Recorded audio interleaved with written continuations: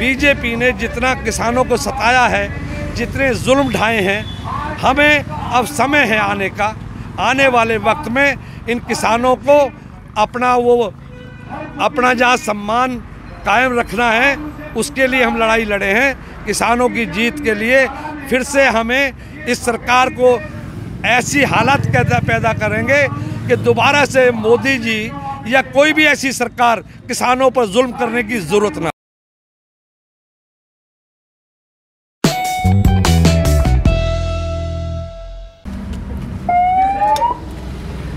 नमस्कार।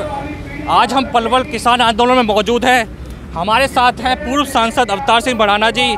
आज यहाँ पर वो आए और आज उन्होंने किसानों को समर्थन दिया और किसानों के जो बिल हैं वो सरकार ने वापस ले लिए। आज हम उनसे बात करेंगे। सर आज यहाँ पर पहुँचे हैं।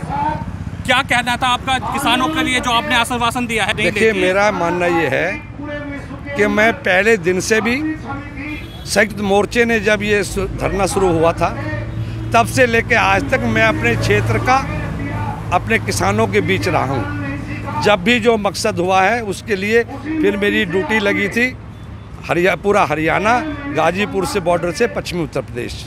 आज मैं सबसे पहले अपने किसानों को, अपने योद्धाओं को ये कहने आया हूँ कि आज काले कानूनों से हमारी जो विजय हुई है, किसान की जीत हुई है, वो हमारे लिए खुशी का वक्त है। और मैं समझता हूँ कि जिन चीज़ों की संख्याएँ हैं, वो सब दूर होंगी। अब किसी की हिम्मत नहीं होगी कि किसानों के सामने टकराने की। किसानों का बलिदान, किसानों की कुर्बानी और किसानों ने जो इतना बड़ा संघर्ष किया है, जो दुनिया के इतिहास में सबसे बड़ा आंदोलन था। आज हमारे जेलदार साहब के यहाँ नेतृत्व में हम लोगों ने पूरा यहाँ से समर्थन किया है और हम ये कहेंगे कि हमें बीजेपी ने जितना किसानों को सताया है, जितने जुल्म ढाए हैं, हमें अब समय है आने का। आने वाले वक्त में इन किसानों को अपना वो, अपना जहाँ सम्मान कायम रखना है, उसके लिए हम लड़ाई लड़े हैं। किसानों की जीत के लिए फिर से हमें इस सरकार को ऐसी हालत पैदा करेंगे कि दोबारा से मोदी जी या कोई भी ऐसी सरकार किसानों पर जुल्म करने की ज़रूरत ना करे। पूरा एक साल किसानों ने संघर्ष किया। अभी हाल ही में कई राज्यों में चुनाव होने हैं जिनमें उत्तर प्रदेश भी है। उत्तर प्रदेश में किसान आंदोलन का क्या प्रभाव पड़ने वाला है? निश्चित तौर पर पूरे देश का किसान ये तय कर चुका है संयुक्त मोर्चे ने बता दिया है कि इस जुल्मी सरकार को उत्तर प्रदेश ही नहीं पूरे देश में जहाँ भी चुनाव हैं इनको उत्तर प्रदेश से उपाड़ने की शुरुआत करेंगे।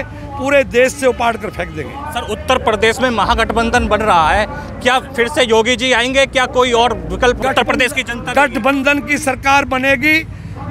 बीजेपी का सफाया हो जाएगा पश्चिमी उत्तर प्रदेश से शुरुआत होगी और पूरब तक साफ़ होता चला जाएगा। तो ये थे पूर्व सांसद जो कि आज किसान आंदोलन पलवल में आए। उन्होंने अपनी बात रखी। आगे खबरों के लिए बने रहिए बी एस एन न्यूज़ पर धन्यवाद।